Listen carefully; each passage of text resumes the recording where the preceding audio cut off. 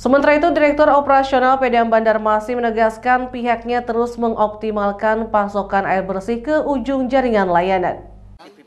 Upaya melancarkan kembali distribusi air bersih yang dikeluhkan oleh pelanggan di kawasan Banjarmasin Barat dalam beberapa hari ini terus dilakukan oleh pihak PDM Bandar Masih.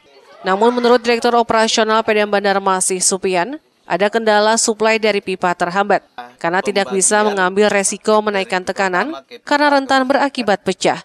Saat ini pihaknya mengarahkan agar dengan tekanan yang kecil air bisa sampai ke ujung dan mengalir kepada warga.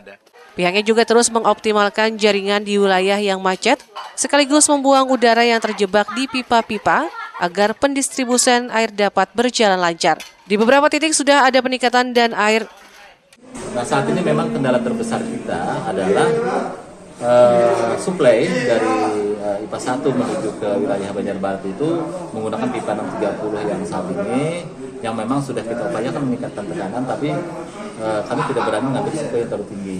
Nah artinya uh, tekanan yang sampai di Stoyo itu saat ini hanya 1,2 bar Nah dari tekanan 1,2 itu dibagi ke seluruh wilayah tadi, ke jam-jam, ke Kuwait, ke Belitung, ke Piram.